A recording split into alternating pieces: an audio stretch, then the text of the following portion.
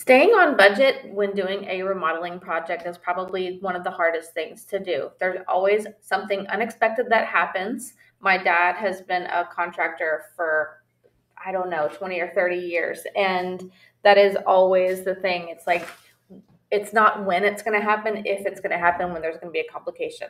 So this spreadsheet is going to help you to keep track of your budget because it is a perfect way to simply see what is going on with your budget and you can see how much you have spent on everything and how much you have left in the budget. So I will show you how this works. This is available in Google Sheets and Excel and hopefully by using this sheet, this will help you to stay on budget, figure out how much you've spent in each category and be able to uh, stay as close as, to your budget as you can. Okay, so at the very beginning, what we're going to do is uh, write in here on our what our total budget is for the entire project. So say we're doing a whole kitchen renovation uh, project, and I don't know exactly what um, how much things are these days, but I'm just going to say it's going to be forty thousand dollars to do a whole kitchen reno. Um, I have no clue, so uh, if I had comments on here, um, I'm sure you guys have other uh, thoughts, but we're just going to do the best we can. And so we're just going to say that this is $40,000. And let's say uh, that we have put in all of these things, and so far we have spent $11,800. And it's going to show us that we have a remaining uh, budget of 28000 to spend.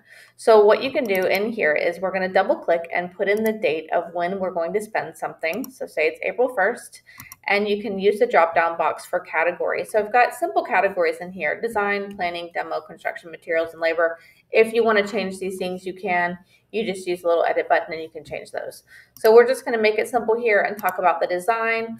And then let's talk about, let's say that this is going to be, you know, kitchen design um, and then let's say that we used a company. I have a place here to put company just so you can keep track of like who you used and what what happened. Um, if you're doing this yourself, this may not be relevant. You could probably just change this and make it to be the brand of the product that you used.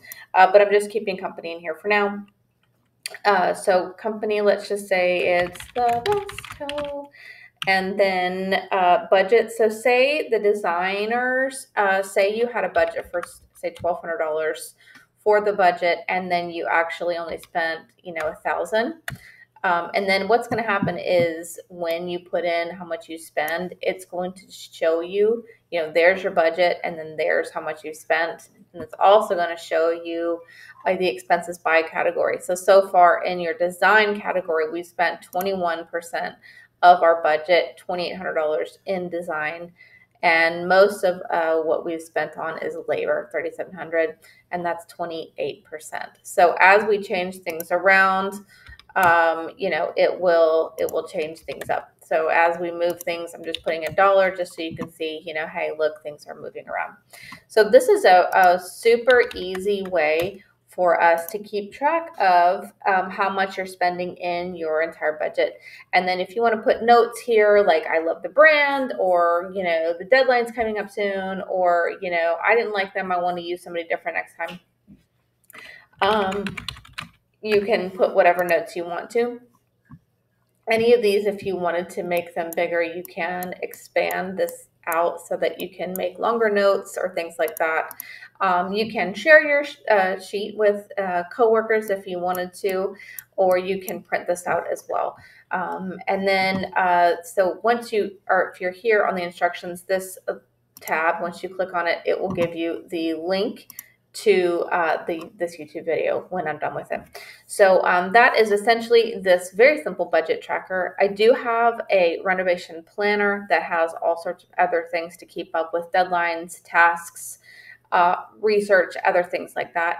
And um, I have all sorts of task trackers and project trackers, lots of other things that could help you with your business or with your personal home, uh, income and expense trackers, and uh, lots of things. So uh, take a look around on my website. I'm at savvyandthriving.com, and I hope you guys have a great day and happy remodeling.